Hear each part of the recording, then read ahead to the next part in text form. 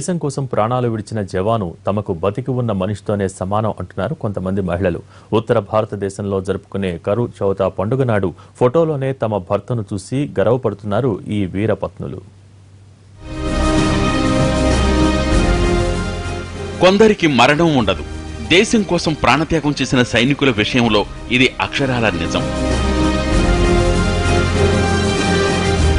ఉత్తర భారతదేశం మహిళలు కర్వాచౌత పండుగను శ్రద్ధగా జరుపుకుంటారు. భర్త ఆయురారోగ్యాలతో ఉండాలని కోరుతూ రోజంతా ఉపవాసం ఉంటారు. సూర్యాస్తమయం తరువాత జల్లెడ నుంచి చంద్రుణ్ణి చూసి ఆ తర్వాత భర్త ముఖాన్ని చూడటం ఆనవాయితీ. కర్వాచౌత పండుగను భర్త సమక్షంలో జరుపుకుంటారు మహిళలు. అయితే దేశం కోసం ప్రాణాలు విడిచిన భర్త తమకెప్పటికీ బతుకున్నట్టే అంటున్నారు ఈ వీరపత్నులు.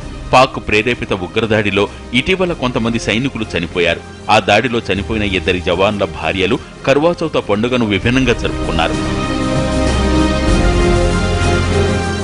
సూర్యాస్త సమయం తర్వాత కర్వాచౌత చేసిన మహిళలు జల్లెల్లో భర్త మొహం చూస్తారు. రాజస్థాన్లోని జుంజు గ్రామంతో పాటు భోపాల్లోని జవాన్ల భార్యలు తమ భర్త ఫోటోను జల్లెల్లో చూశారు. తమ భర్త అమరుడని ఈ మహిళలు గర్వంగా చెప్పుకుంటున్నారు. నిజమే దేశం కోసం ప్రాణం త్యాగం చేసిన సైనికులు చిరస్థాయిగా అమరులై నిలిచిపోతారు.